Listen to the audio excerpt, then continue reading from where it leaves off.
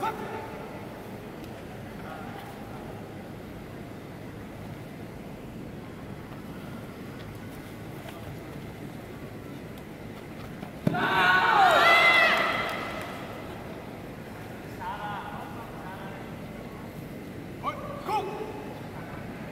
Good.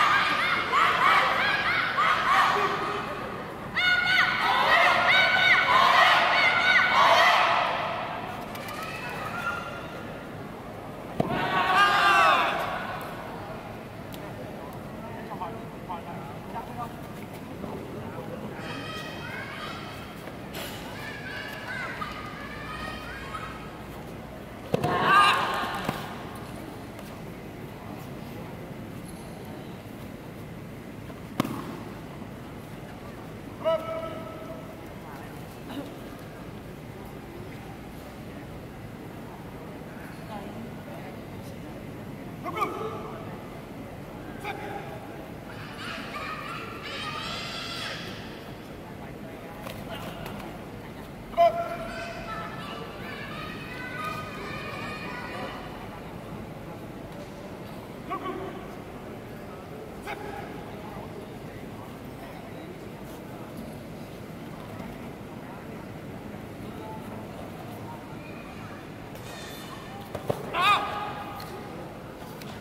Yeah.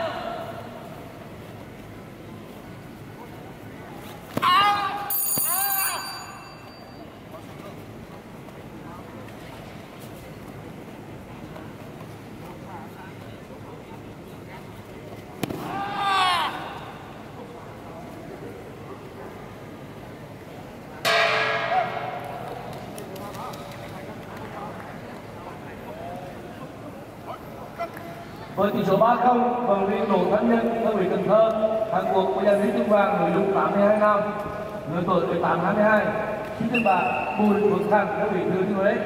Huy chương đồng Vi Văn Hoa đơn vị Bắc Ninh và Bùi Mai Cảnh Tấn đơn vị Thành phố Hồ Chí Minh.